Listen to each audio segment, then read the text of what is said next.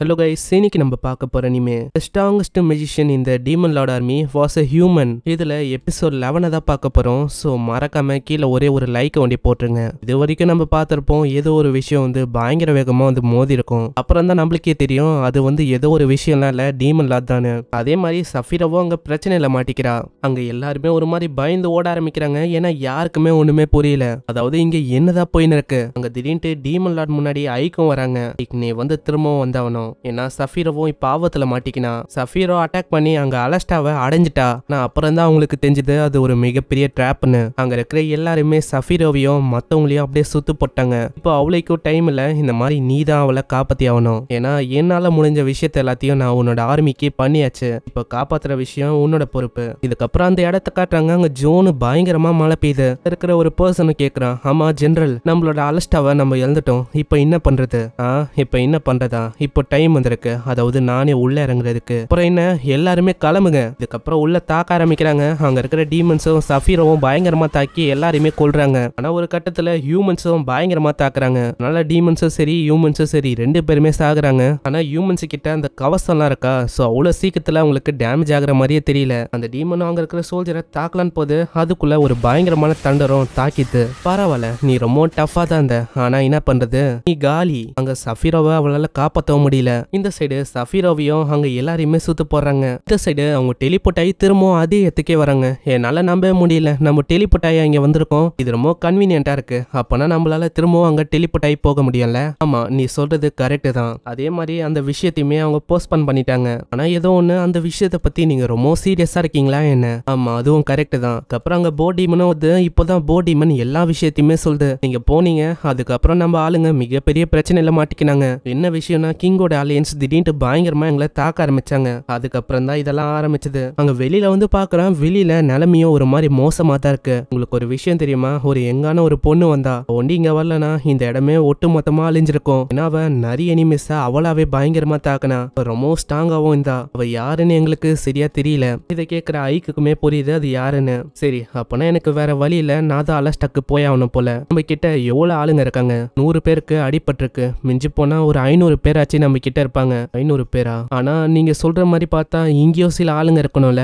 ஏன்னா எப்போ வேணாலும் இங்க வந்து தாக்குறதுக்கு வாய்ப்பு இருக்கு. சரி அவங்களோட படையில எத்தனை பேர் இருக்காங்க? அவங்களோட படையில ஒரு அஞ்சாயிரம் பேராச்சும் இருப்பாங்க அப்புறம் எப்படி நம்மளால ஜெயிக்க முடியும்? கவலைப்படாத நம்ம ஆளுங்களை தனித்தனியான ஏரியால சண்டை போட விடலாம். அதுக்குள்ளேயே பின்னாடி டார்ஃபோட தலைவரும் வராரு. ஒரே ஒரு நிமிஷம். அவங்க கிட்ட பேசலாமா? உங்களுக்கு ஆளுங்க வந்து கம்மியா இருக்காங்கன்னு எனக்கு நல்லாவே தெரியும். இப்போ அதுக்கான டைம் நாங்க வந்து நீங்க ஹெல்ப் பண்ணதுக்காக ரீபே பண்ண போறோம். இல்ல இல்ல நீங்க ரீபே எல்லாம் பண்ண தேவையில்ல. ஆல்ரெடி நீங்க கன்னை மேக் பண்ணி கொடுத்தீங்க. அதுவே ரீபே பண்ண மாதிரி ஆச்சு. இல்ல இல்ல நீங்க அப்படி சொல்லக்கூடாது. இப்போ டீமன் ஆர்மி வந்து ஜெயிச்சாகணும். ஏன்னா அப்பதான் இந்த உலகம் நீங்க சொன்ன மாதிரி ஒரு உலகமா மாறும். ஆனா நீங்க சொல்றது எல்லாமே கரெக்ட் தான். டீமன் ஆர்மியே ஒரு மாதிரி கஷ்டத்துல இருக்கு. என்னால அந்த ப்ராமிஸை ஃபுல்ஃபில் பண்ண முடியுமா அப்படின்னு எனக்கு சரியா தெரியல. பரவாயில்ல இருக்கட்டும். நாங்கெல்லாம் டார்ஃப் நாங்க அவ்வளவு சீக்கிரத்துல எங்களோட கடனை நாங்க மறக்க மாட்டோம். அதே மாதிரி எங்க ஆளுங்க வெறுமா கிராஃப்மேன் ஒண்டி பண்ணாம ஆல்ரெடி வார பத்தி உங்களுக்கு நிறைய விஷயம் தெரியும். அதுலேயும் அவங்க கை தேர்ந்தவங்க. ஸோ எங்க கிட்ட ஒரு நூறு ஆளுங்க இருக்காங்க. எங்களால் முடிஞ்ச ஹெல்ப்பை கண்டிப்பாக உங்களுக்கு நாங்கள் பண்ணுறோம் நாங்கள் இதை ஒன்றும் சாதனமாக பண்ணல.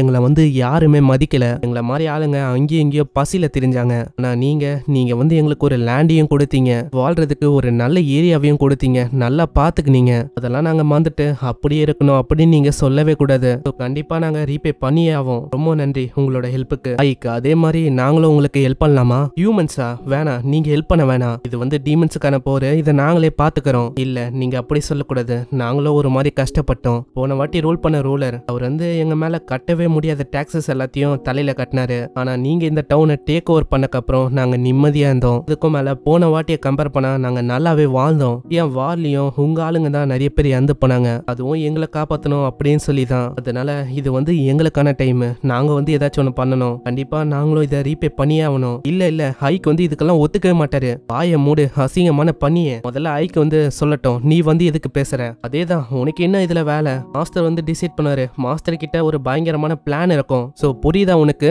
உனக்கு வந்து ஒண்ணுமே புரியாது. இந்த மாதிரி வேலைக்கெல்லாம் நீ ஒத்து வர மாட்ட. அதே மாதிரி அவரோட மனசுக்குள்ள என்ன ஒத்து அதை பத்தியும் உன்னால தெரிஞ்சுக்க முடியாது. சோ மரியாதையா அவர்கிட்ட மன்னிப்பு கேளு. சரி நான் வந்து தெரியாதனமா வாய விட்டேன். என்ன மன்னிச்சிருங்க. நான் வந்து நீங்க எல்லாருமே இப்படி சொன்னதுக்கு ரொம்ப சந்தோஷமா ஃபீல் பண்றேன். உங்களோட உதவி வந்து எனக்கு கண்டிப்பா தேவைப்படும் தான். நம்ம இப்போ என்ன பண்ண போறோம்னா ரெண்டு டீமா பிரிய போறோம். ஒரு ஃபோர்ஸ் வந்து இங்கே இருக்க போது இன்னொரு ஒரு ஃபோர்ஸ் ஃபோர்ஸ் நம்ம கூட வரப்போகுது. ஸோ நாங்கள் அலஸ்டாக்கு போகும்போது கண்டிப்பாக அந்த கிங்கோட அலையன்ஸ் இங்கே வந்து தாக்குறதுக்கு நிறையவே வாய்ப்பு இருக்கு. அப்படி தாக்க ஆரம்பிச்சா நான் சொல்ற ஒரே ஒரு விஷயத்த பண்ணுங்க. சொல்லுங்க ஐக்கு நாங்க உங்களுக்காக என்ன வேணாலும் பண்றதுக்கு தயாரா இருக்கோம். என்ன விஷயம்னா இந்த மாதிரி அவங்க அட்டாக் பண்ண ஆரம்பிச்சா தயவு செஞ்சு தோழி ஒத்துக்கோங்க. நான் ஏன் இப்படி சொல்றேன்னா நீங்க வந்து தோழி ஒத்துக்குனா அவங்க என்ன நினைப்பாங்கன்னா டீமன்ஸ் கூட இவங்க சேரல அப்படின்னு நினைப்பாங்க. அப்படி நீங்க சண்டை போட்டீங்கன்னா அவங்க வந்து கன்ஃபார்மே பண்றாங்க இவங்க டீமன் கூட சேர்ந்து வேலை செய்யறாங்கன்னு ஸோ அவங்க ஹாஷா இன்னமும் பனிஷ் பண்ணுவாங்க உங்களை பயங்கரமா தொல்லை பண்ணுவாங்க. அதை நான் பார்க்கறதுக்கு விரும்பல. ஸோ தயவு செஞ்சு அதை பண்ணுங்க. இதுக்கப்புறம் அங்கே எல்லாருமே அலஸ்டாக்கு போக ஆரம்பிக்கிறாங்க. எங்களோட படை அது எல்லாரோட ஹெல்ப்னாலையும் கொஞ்சம் கொஞ்சமாக இன்க்ரீஸ் ஆச்சு. ஆனால் எனிமி படையை கம்பேர் பண்ணால் எங்களோட ஆர்மி ஒன்றுமே இல்லை.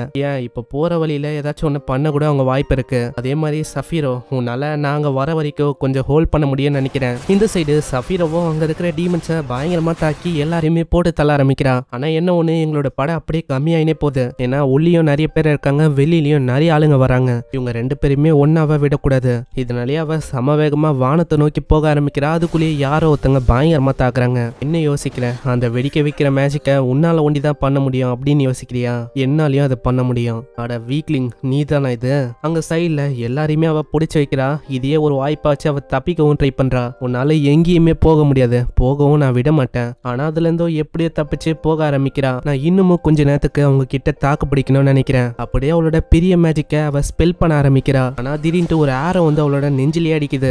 அப்புறம் தான் அவளுக்கே புரியுது இந்த மாதிரி தூரத்துல அவன் இந்திரக்கானு இதனால சஃபீரோ வசமா மாட்டிக்கிறா. இந்த சைடு அங்க இருக்கிற ஆர்க் டீமனையும் அவங்க பிடிச்சி வைக்கிறாங்க. இங்க நிறையவே ஆர்க் டீமனும் இருக்கு. இதுங்களோட இதயத்தை வித்தா பயங்கரமா பணம் பார்க்கலாம் தெரியுமா? அந்த டீமனுக்கும் இன்னமுக்கும் வந்து உங்களை உங்களை வந்து நான் விட மாட்டேன். ஆனா அதுக்குள்ளேயே அதை யாரோ ஒருத்தங்க அப்படியே எரிக்கிறாங்க. சாவுங்க இங்க இருக்கிற எல்லா டீமன்ஸையுமே அப்படியே கொலை பண்ணுங்க. ஒண்ணுமே உயிரோட இருக்கக்கூடாது. அப்படியே அவன் எல்லாத்தையுமே எரிக்க ஆரம்பிக்கிறான். இந்த சைடு அங்க சஃபீரவையும் ஏதோ ஒரு ஜெயில போட்டு அடைச்சு வச்சிருக்காங்க. என்ன தலைவர்? இந்த டீமனை நம்ம அழிச்சிடலாமா? இது ஒரு டீமன்ல டீமனா இருக்கிறனால இது ரொம்ப டஃபா இருக்கு. நீங்க உத்தரவு கொடுங்க. இதை நம்ம கொன்னுடலாம். உன்ன மாதிரி ஒரு வீக்லிங்காலலாம் என்ன கொல்ல முடியாது. அட அந்த டீமன் ஆர்மியோட செவன்த் கிராப்ஸோட கமாண்டர் தானே நீ? எனக்கு உன்னை பத்தி நல்லாவே தெரியும். ரெட் டிராகன் டிவிஷன்ல இருக்க ஒரு ஹை கமாண்டர் தானே நீ? என்னை பத்தி உனக்கு எப்படி தெரியும்? அதாவது நம்ம இதுக்கு முன்னாடியே சந்திச்சிருக்கோமா என்ன? உனக்கு ஞாபகம் இல்லையா? அன்னைக்கு கூட நான் உன்னை சந்திச்சேனே. இங்க கூட அப்படியே ஓட ஆரம்பிச்சிங்க. நான் ஒண்டி உன்னை அணிக்கே விட்டு வைக்கலனா எவ்வளோ தூரம் இந்த பிரச்சனை வந்திருக்காது. இப்போ நீங்கள் பேசுகிற பேச்சையும் நான் கேட்காம இருந்திருக்கலாம். ஆ இப்பதான் எனக்கே புரியுது.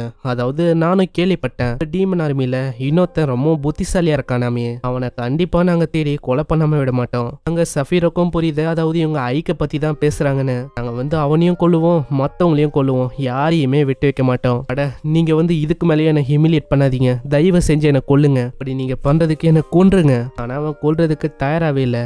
நாங்கள் வந்து இந்த மிஷினை முடிக்கிற வரைக்கும் நீ சாக மாட்ட ஐக். என்னை வந்து மன்னிச்சிரு. இதுக்கப்புறம் ஐக்கோட படையை காட்டுறாங்க. ஐக்கோட படையுமே ரொம்பவும் வேகமாக போக ஆரம்பிக்கிறாங்க. ஐட்டானா ரெஸ்ட் எடுக்குது. ஆனால் ஐக் வந்து ரெஸ்ட் எடுக்கல. அவன் இன்னமும் ஒரு பிளானை தான் உருவாக்கின்னு இருக்கான். ஏன்னா போகிற வழியில் என்ன ஆகும்? அதே மாதிரி அங்கே என்ன ஆக போகுதுன்னு யாருக்குமே தெரியல. ஸோ இதனால் ஆளுமே ஒரு மாஸ்டர் பிளானை உருவாக்கின்னு இருக்கான். இதுக்கப்புறம் அங்கே காலையில் ஆகுது. டார்ஃப் அவங்களோட வெப்பன்ஸையும் உருவாக்க ஆரம்பிக்கிறாங்க. அங்கே ஐக்கும் யோசனை இருக்கும் போதே டார்ஃபோட அந்த லீடரும் வராரு நான் உள்ள வரலாமா? ஆ வரலாம். நான் எதிர்பார்த்த மாதிரியே வில்லன்ஸும் டீமன்ஸும் டக்கு டக்குன்னு இந்த வெப்பன்ஸை சூப்பராகவே கையாளுறாங்க. அதோட ப்ரோட்டோடைப்பையும் நாங்கள் உருவாக்கிட்டோம். நம்ம எல்லாருமே தயாராக இருக்கோம். நீங்கள் ஆர்டர் கொடுத்தா போதும். நம்ம தலைக்கு தலை சண்டை போட போகிறோம் நீங்கள் அப்படி சொல்லக்கூடாது. சுச்சுவேஷன் சரியா போகுதா அப்படின்னும் நம்மளுக்கு தெரியல. அந்த போ டீமன் கிட்ட சொல்லியிருக்கேன். அவங்க வந்து இப்போ போய் செக் பண்ணிருக்காங்க. அந்த ஏரியா எப்படி இருக்கு? போகிற மாதிரி நிலமையில இருக்கா? ஆளுங்க ஏதாச்சும் ட்ராப் வச்சிருக்காங்களா? அது எல்லாத்தையுமே அவன் பார்க்க போயிருக்கான். ஸோ அதனால நம்ம கொஞ்சம் வெயிட் பண்ணலாம். இதுக்கப்புறம் அங்கே போ டீமனை காட்டுறாங்க. அதுவும் அங்கே போய் செக் பண்ண ஆரம்பிக்குது. நீங்க நீங்கள் பொறுமையாக வாங்க சவுண்டு போடாதீங்க. சரி அதான் சொல்கிறேன்ல சவுண்டு போடக்கூடாதுன்னு எதுக்கு நீ பேசுகிற இதே மாதிரி அவங்க போய் செக் பண்ணுறாங்க அந்த போர்டிமனே ஒரு மாதிரி ஷாக் ஆயிடுது கையில் அந்த டீமன் பொண்ணும் அதை பற்றி அது கவலைப்பட்டுன்னு இருக்கு. என்னோட நகமும் ஸ்கின்னும் ஒரு மாதிரி ஆயிடுச்சு தெரியுமா? வெளியில் தூங்கி தூங்கி இந்த வாரம் ஒண்டி முடியட்டும் அங்கே இருக்கிற லூசு பசங்களோட எனர்ஜியை அப்படியே அப்சர்வ் பண்ணிடலான்னு இருக்கேன். அங்க போர்டிமன் ஒரு மாதிரி சோகமா இருக்கு இவளுக்கு ஒன்றுமே புரியல. ஆமாம் என்ன ஆச்சு போர்டிமன் அதை மூஞ்சி பார்க்கும்போதே தெரியுது ஏதோ ஒன்று சரியா இல்லைன்னு. இதனாலே அங்கே ஐக்கு கூப்பிட்றா. ஐக்கு நீங்கள் டக்குன்னு வாங்க ஏதோ ஒரு பிரச்சனை இருக்கு. அங்க போர்டிமன் கிட்ட இருக்கிற வைனா கூலரை வாங்கி பார்க்குறான் அதை நல்லா ஊத்து பார்க்கும்போது தான் தெரியுது சஃபீரோவை ஒரு மாதிரி தொங்க விட்டுருக்காங்க. அந்த போர்டிமனும் கேக்குது ஐக்கு நம்ம வந்து இப்போ என்ன பண்றது? நீ வந்து என்ன சொல்ற? அதாவது நீ இன்னத்தை பார்த்த அதை வந்து வாயை தொந்து சொல்றா? ஆனா அது சொல்ற மாதிரியே இல்ல. நீ அதை பார்க்காம இருக்கிற வரைக்கும் உனக்கு நல்லது. சரி நம்ம வந்து இப்போ என்ன பண்ண போறோம் ஐக் ஆனா ஒண்ணு நம்ம சஃபீரோ இன்னமும் உயிரோட தான் இருக்காங்க. நான் டீமன் லாட் சொன்னாங்கன்னு சொல்லி ரொம்ப ஸ்பீடா வந்தேன். நான் எதுக்கு பயந்தேன்னா சஃபீரோ வந்து ஆல்ரெடி இறந்து போயிருப்பாங்களோ அப்படின்னு நினைச்சு பயந்தேன். ஆனா நீங்க சொல்றபடி பார்த்தா அது ஒரு ஸ்கிரார் க்ரோவா கூட இருக்கலாம்ல. அது ஒரு ட்ராப்பா கூட இருக்கலாம். அதாவது அவங்க உயிரோட இருக்கிற மாதிரி கூட நடிக்க வைக்கலாம்ல. ஏன்னா அப்போதான் நீங்க நம்பி ரொம்ப சீக்கிரமா உள்ள வர மாதிரியும் இருக்கும். ஆனா எனக்கு தெரிஞ்சு இது வந்து அவளுக்கும் ஈஸியா இருக்காது. ஏன்னா அவங்க கிட்ட அஞ்சாயிரம் சோல்ஜர் இருக்காங்க. கண்டிப்பா அவங்களுக்கு நிறையவே சப்ளையும் வேணும். ஆனா இப்ப போற போக்க பார்த்தா அங்க கண்டிப்பா அவளுக்கும் சப்ளைவும் இருக்காது. அதனால இதை சீக்கிரமாவே எண்டாக்கணும் அப்படின்னு பாக்குறாங்கன்னு நினைக்கிறேன். சரி அவங்க கமாண்டரோட பேர் என்னது? அவரோட பேரு ரூடல். ரெட் டிராகன் டிவிஷனோட ஒரு கமாண்டரா இருக்காரு. நான் அவரை பத்தி கேள்விப்பட்டிருக்கேன். அவருக்கு நிறையவே டேலண்ட்டும் இருக்கு. அவர் என்னையும் மற்ற ஆளுங்களையும் அழிக்கணும் அப்படின்னு பாக்குறாரு. அதே மாதிரி இப்போ சஃபீரோவை அவங்க கொண்டு இருக்க மாட்டாங்க. ஏன்னா சஃபீரோவை ஒரு ட்ராப்பா வச்சு அவங்க யூஸ் பண்ணன்னு பார்த்தா கண்டிப்பா அவங்க கொள்றதுக்கு வாய்ப்பே இல்லை. ஆனா இப்போ போற போக்க பார்த்தா சஃபீரோட நிலைமையும் ரொம்ப மோசமா இருக்கும்னு நினைக்கிறேன். அதனாலேயே அவளால தப்பிக்கவும் முடியாது. அதாவது ஒரு ட்ராப்பா இருந்தாலும் நம்மளால அட்டாக் பண்ணாம இருக்க முடியாதுல்ல. நம்ம எப்படியாச்சும் இப்போ முன்னேறி போகணும். சரி நம்ம இப்போ அதை பத்தி தான் பேச போறோம். அதுல கண்டிப்பா உங்களோட ஹெல்ப்பும் தேவை. அதே மாதிரி எனக்கு உங்க ரெண்டு பேரோட ஹெல்ப்பும் வேணும். அப்படியா? நாங்க கண்டிப்பா உதவுறோம். அப்புறம் என்ன? நம்ம தாக்க ஆரம்பிக்க வேண்டியதுதான். இப்படி சொல்றதோட இங்கே இந்த எபிசோடும் முடியுது. இந்த எபிசோடு இது வந்து உங்களுக்கு பிடிச்சிருக்கும்னு நினைக்கிறேன். பிடிச்சிருந்தா மறக்காம கீழே ஒரே ஒரு லைக் ஒண்டி போட்டுங்க ஏன்னா அப்பதான் நிறைய பேருக்கு ரெக்கமெண்ட் ஆகும். அதே மாதிரி நம்ம சேனலை சப்ஸ்கிரைப் பண்ணலன்னா சப்ஸ்கிரைப் பண்ணிக்கோங்க. நான் இன்னமும் ஒரே ஒரு எபிசோட் தான். அது முடிச்சக்கப்புறம் நம்ம ஒரு புது அனிமேவையே பார்க்கலாம். ஸோ நான் உங்களை நெக்ஸ்ட் எபிசோட்ல சந்திக்கிறேன். தேங்க்யூ ஃபார் வாட்சிங் சாயனரா